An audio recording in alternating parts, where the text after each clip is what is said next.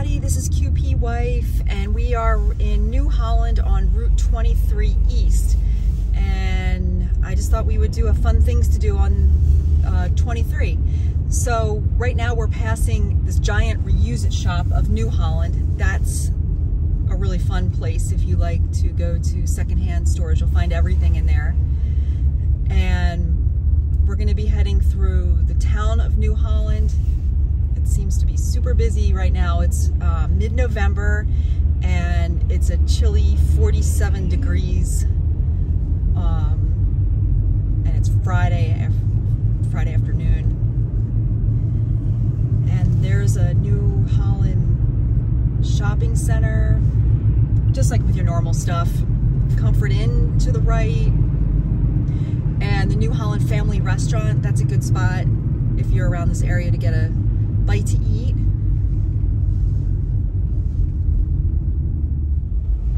And we're passing New Holland Agriculture on the right side. I always like, oh, they have really cute hay bales and stuff. I don't know if you can see that in the camera, but um, here, I'll try to do this real quick.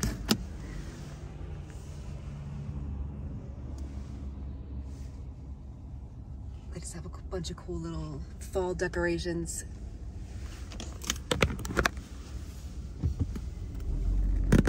Okay.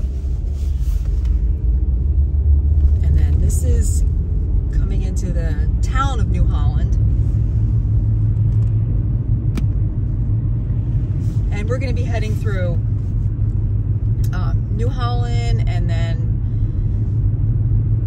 we'll stay on 23 and we'll go through Blue Ball, East Earl, where Shady Maple is, and the little town of Goodville, and we'll finish it up in Churchtown, because there's actually a lot of fun little things in Churchtown to do.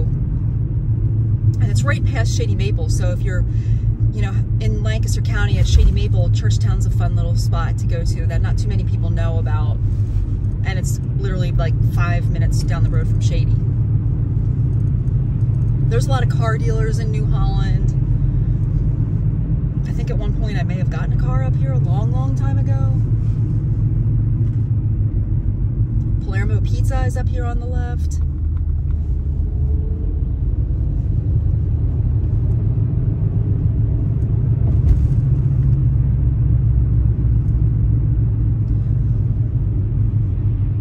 And once a year, um, they have a big New Holland Fair, and those fairgrounds are somewhere down to the right. It's fun. There's like art, judging contests, and 4-H um, contests. Plus, they have like food and rides and stuff. So that's pretty fun if you're here. I think that's maybe sometime in the summer, but I'm not 100% sure. If you're in New Holland, you can check the website. But they have a really good fair in this town once a year.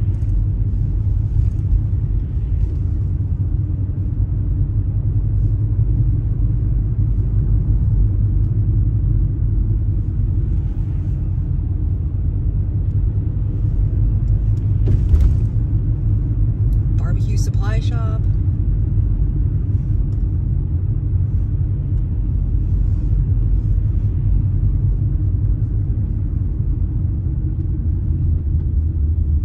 A lot of pretty churches through here.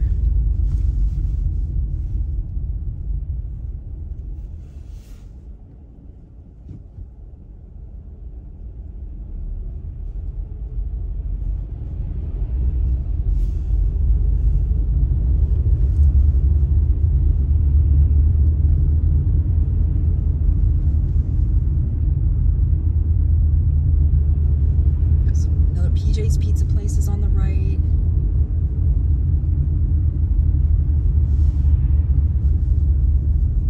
Grocery store. Hardware store. Oh wait, this is a, first this is a neat antique place on the right. They have really cool stuff in there, kind of unique things that you don't really see too many places.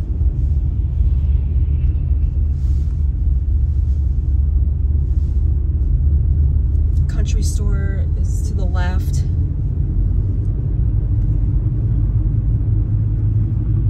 And I'm looking for Kauffman's hardware store. I hope it's still here. I haven't been to New Holland in a while, but it's like the best hardware store ever.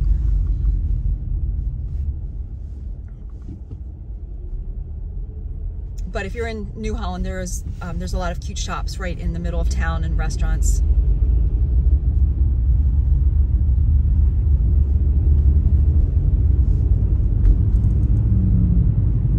Hollander Motel to the right. Radio Shack is to the left. I didn't even think they had any Radio Shacks. I don't know if that place is open or what. Looks like it is.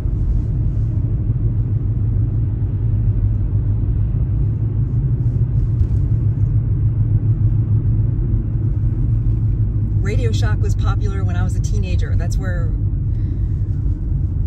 we would go and get all of our like cool electronic stuff back then.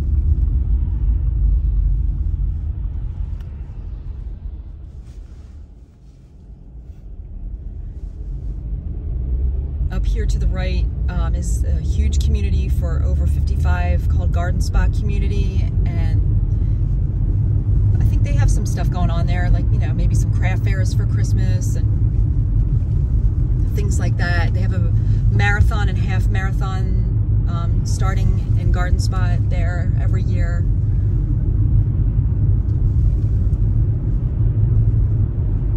And it's a really hilly course. Coffee Company right to the right.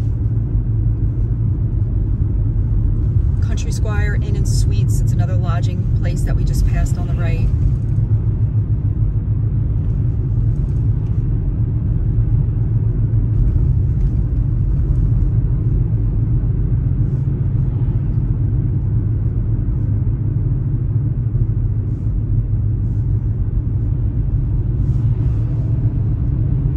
Yeah, New Holland Marathon. That's a you're running um, up Welsh Mountain and down. It's a really hilly course.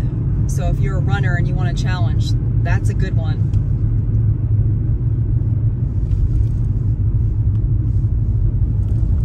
Oh boy, water water main break or something.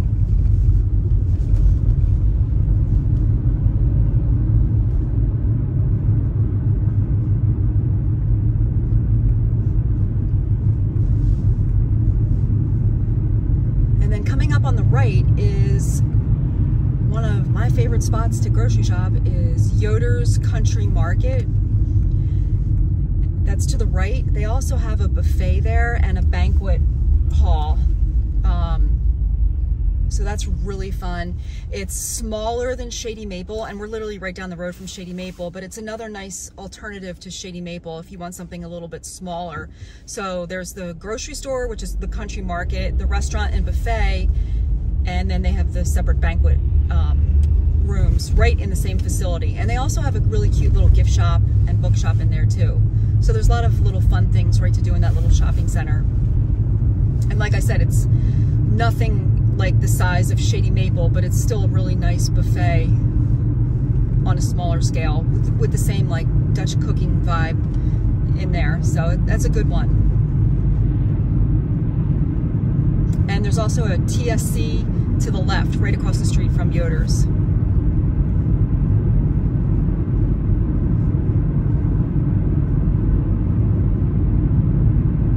So you'll see how close we are from Yoder's to Shady Maple.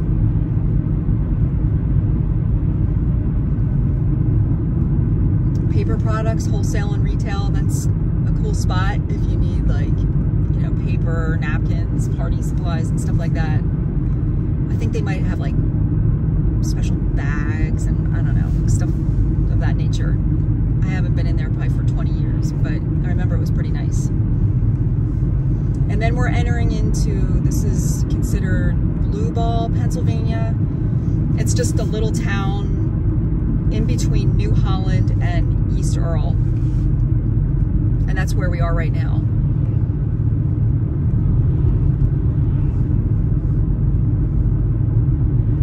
And there's a um, thrift shop right to, down this road here to the right.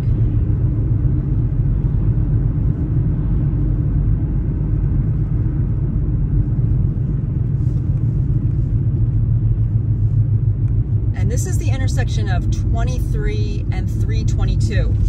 So we're gonna head straight, continue on uh, 23 East, but if you wanted to go to Ephrata, you would turn left here and head 322 West.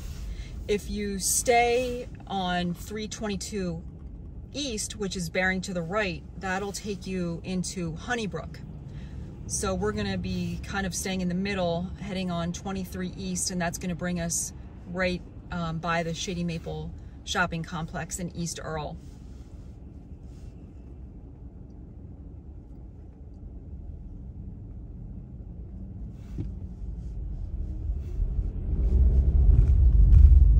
And there's Carini's Italian restaurant. I've never eaten there, but it's been there for a really long time. And they're always pretty busy, so I'm assuming they have pretty good food. There's a little boutique to the left. And I don't know what that boutique has in there. They've changed hands a couple times, but that looks really cute in there. There's a new sportsman's shop coming up here on the right, right past this Dollar General.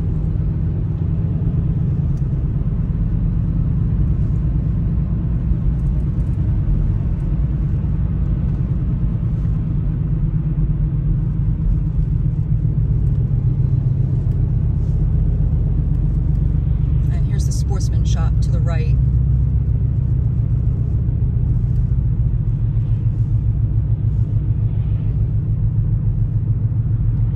And a long time ago, that used to be bowling lanes.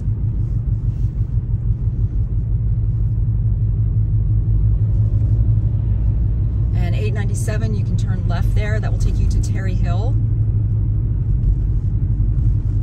And right up here on the right, we're going to be passing the Shady Maple complex, and that has Shady Maple Market, the grocery store in there. It has Good's store, Shady Maple gift shop, which is like the biggest gift shop I've ever seen in my life. The smorgasbord is in there to the right. Um, Gish's furniture store. Shady Maple RV is to the right, down in there. I feel like I'm forgetting something.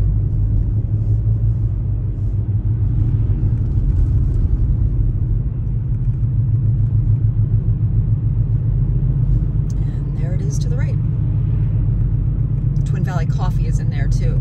They have awesome coffee. Chateau Farm is to the left.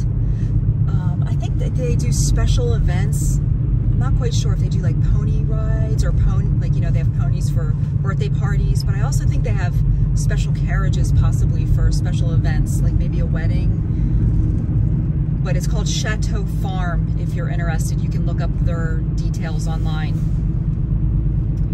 Coming up on the left is Route 625, and that will take you um, through Bowmansville. Actually, and if you continue on there, it'll take you all the way to Reading. But we're going to be staying on 23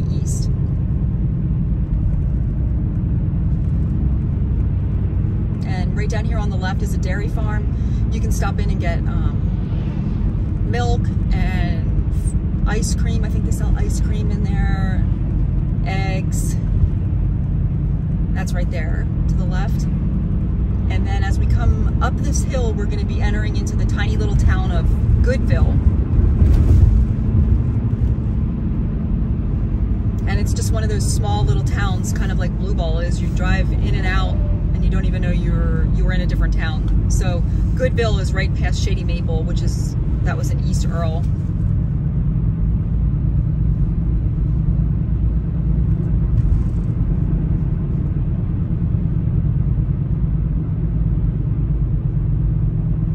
And here we are in Goodville.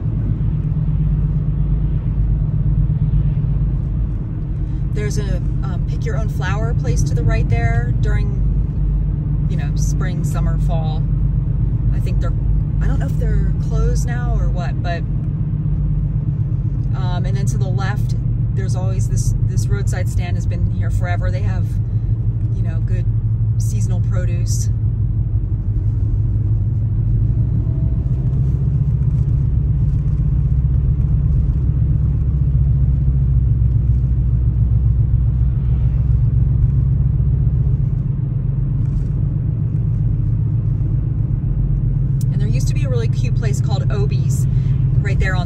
but they have closed and they used to sell penny candies and fabric and it's one of those stores where you go in and you ask for something and then somebody goes into a room where you can't see and they come out with it. It's one of those stores that have like a little bit of everything, but that's closed.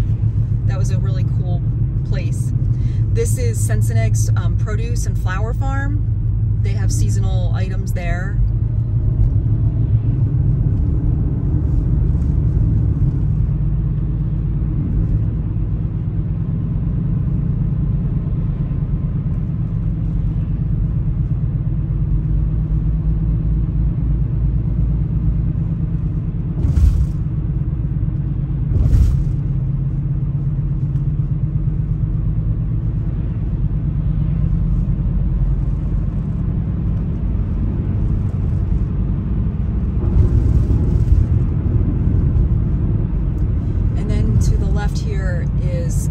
market and they sell really cool garden decorations and concrete things.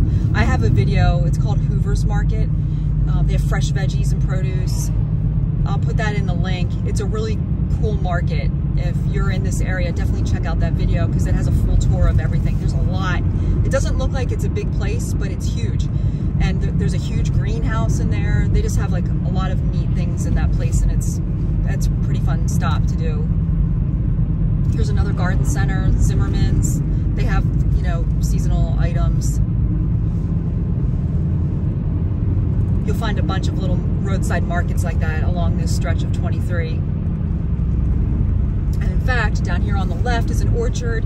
Um, they're open right now. They have seasonal items. They have apples and cider. Zim this is Zimmerman's Orchard. Onions and squashes. And then coming up to the right is Poole Forge. And there's a covered bridge there. It's a historic site and it's really pretty park. There's tons of picnicking areas. There's a great playground for kids. Um, it's it's always quiet and nice there. And the covered bridge, if you want to walk through one, there's it's not busy because it's not on a main road. It's off in its own park. So it's really cool. You can walk through that no problem. And um, you can fish there if you have your license. It's a nice place to stop. And then coming up on the right, we're actually entering into Churchtown right now, right at this Blue Ridge furniture place. They have really nice furniture there.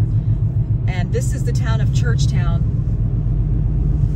So you can see there's like a ton of stuff to do between New Holland and here, and we haven't really driven that far. Churchtown, there's a neat little hardware right to the left here. It's called Churchtown Supply Company. To the right, there's, this used to be an antique place, and I haven't, it's, there's furniture, gifts, home decor, leather goods, in that big building to the right. And there's a couple B&Bs up here on the right. uh, Twin Linden. That's this one right here. I forget what the other one. There's one more maybe right here. I think this is another bed and breakfast to the right. Um, there's a lot of, that's Bangor Historic Episcopal Church. And there's a lot of churches right here in Churchtown. And if you're in here, they're so pretty to walk around. There's an Old House Bakery and she's an Amish lady I think her bakery's for sale, but she's still in business and she has um, really good pretzels and homemade baked items.